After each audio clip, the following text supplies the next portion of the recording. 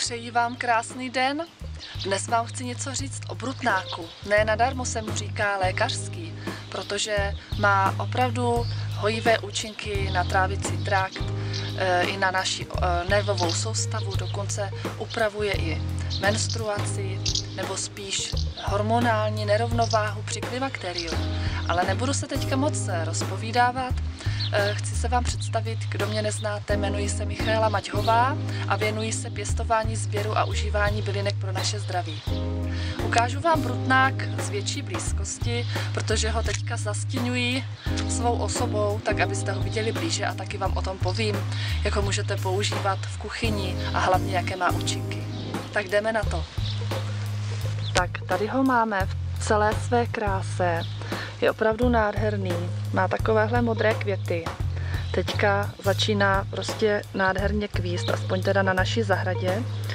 Začnu teda napřed těma účinkama, jaké má na naše zdraví.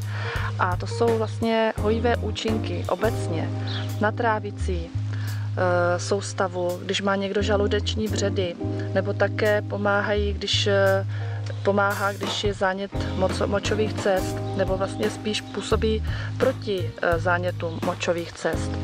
Eh, pak také pomáhá vlastně při menstruaci, eh, ne, že by ji teda vyloženě upravoval, tak jak jsem říkala na začátku, ale pomáhá překonat takový ten takzvaný premenstruační syndrom a také zároveň pomáhá i ženám, které jsou v přechodu, protože upravuje hormonální nerovnováhu a pak také posiluje srdce, pomáhá i proti depresím, jo? má opravdu široký záběr svého, svých účinků.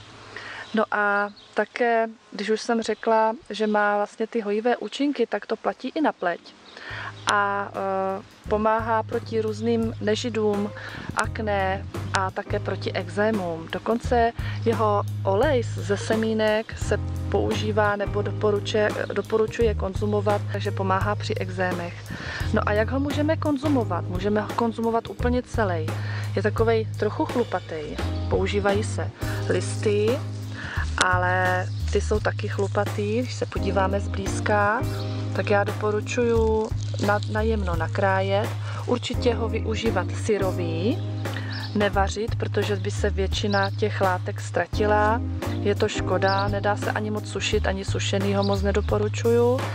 Tak taky se ztrácí účinné látky a e, ty látky jsou hlavně v těch šťávách toho brutnáku. On je takový jako křupavý, takový prostě plný vody a ty látky jsou hlavně, hlavně v těch šťávách.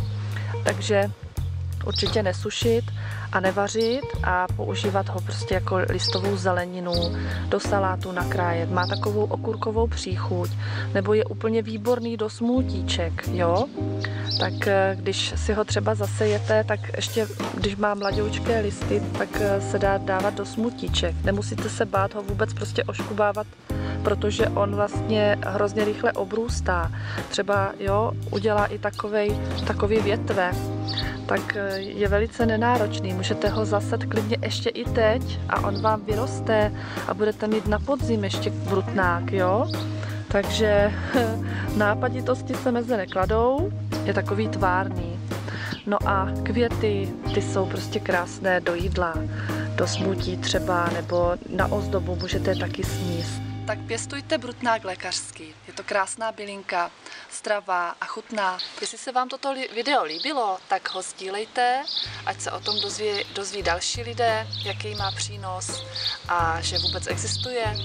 A e, pokud chcete, tak můžete navštívit i moje stránky, tady v záložce ička, nebo když sledujete na Facebooku, tak nahoře nad videem.